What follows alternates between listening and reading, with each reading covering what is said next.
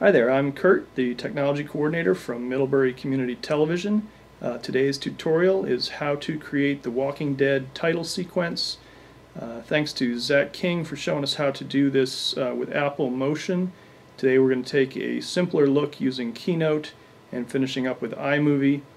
There's a couple key elements that need to be included. One is the text effects which are kind of motion tracked to the video background and then everything is shown through the filter of a dirty glass, kind of yellowish sepia tinted uh, filter. So we'll look at how to do that as well.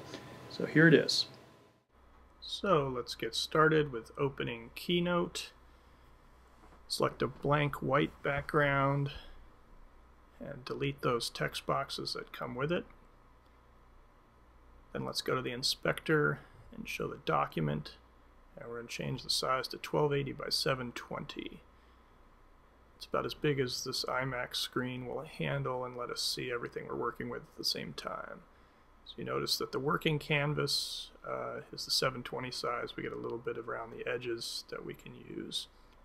So we're going to import uh, the video that Zach has graciously provided. I chopped it down to just the first shot. You notice it came in at 1080p, larger than our uh, keynote window, so we're going to resize that to fit. There will be a minor loss in quality, um, but you'll barely notice it.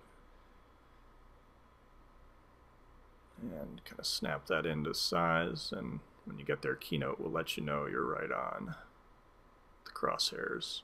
So there's our first layer, the video. And we'll add text for the titles, so I'll uh, put my name in there.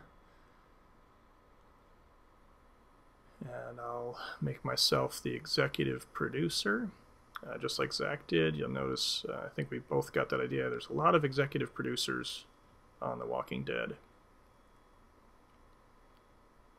Let's change the font to something we like. That's about good size. And all the names uh, in the credits there are bold and we'll position that where we want it to start in the frame. And the plane tracks to the left so we're going to make the text track to the right. And you go to your build inspector add an action. You'll see we've got move already selected ease in and ease out start slow and end slow. To make it three seconds to match the length of the shot and start automatically with the video and you see the ghost image is where that's going to end. So as I, I'm going to make it opposite to the plane's movement, so down and a little to the right. And you get something that looks like this. Uh, Keynote and QuickTime are not processing that in real time, so it'll look smoother in the end. That looks pretty good. Now we bring in the next layer, which is going to be our dirty glass window filter. Now we can't see anything because that's sitting on top of everything else. We're going to resize that, stretch it out a bit. And go back to the graphic inspector this time and we can drop the opacity down. Now pick something that looks good for you. Uh, the white of the snow is pretty light, so we got to drop the opacity down quite a bit. Go to the build inspector. We're going to add an action. Again, it's the move in and out, three seconds. And we're going to start that at the very beginning of the video clip. Close that. Now you'll see here, the ghost image is much harder to see, but we're going to track the dirty glass filter with the motion of the plane. So we're going to make it go up and to the left. You can see this point over here has changed to show that we're moving that whole layer. Looks something like this. You notice all three layers are moving.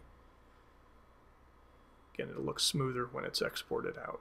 So that looks pretty good. So then let's export it. I'm going to select fixed timing. Since the shot is three seconds, we'll make the build last the same amount of time. Five seconds for the whole thing gives us editing kind of handles when we bring it into iMovie. Now we export it out and just save it somewhere easy to find like the desktop.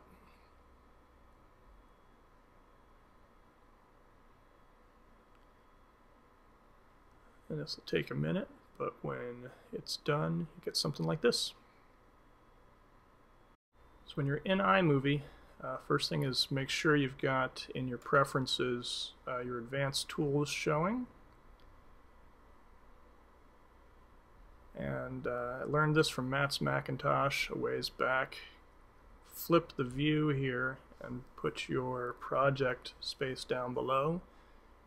Click on these buttons over here and you'll see it as one long timeline, which is what any professional editing program generally looks like.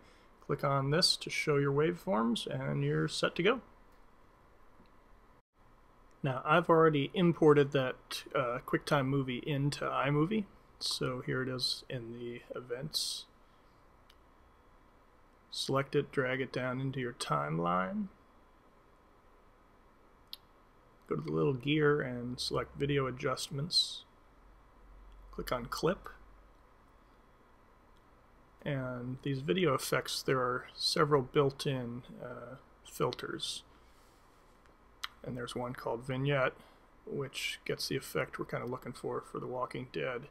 Uh, limitation here is you can only apply one of those built-in filters at a time.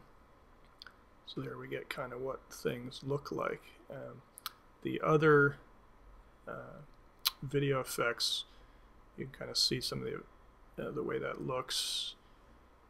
Uh, the Walking Dead definitely has kind of a sepia tinted look to it, but we can't apply that and the vignette right here in iMovie.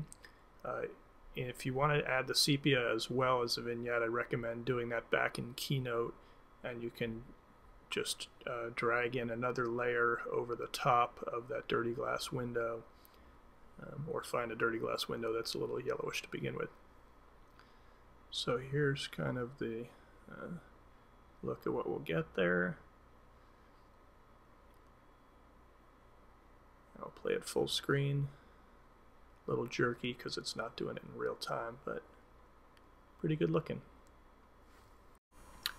There you have it. So thanks to Zach King for providing those tutorial files. Uh, see the description for a link to uh, all those files he provided. And good luck creating your own uh, Walking Dead title sequence. Thanks for watching.